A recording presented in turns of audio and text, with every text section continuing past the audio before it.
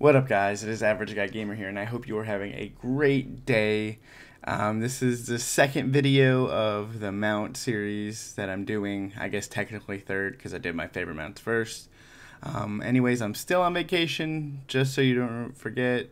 Um, I will be back Monday. I decided I probably will stream just later at night because I'll probably miss y'all and I love playing video games. Anyways, I hope you all have a great weekend, and I'll see you tomorrow.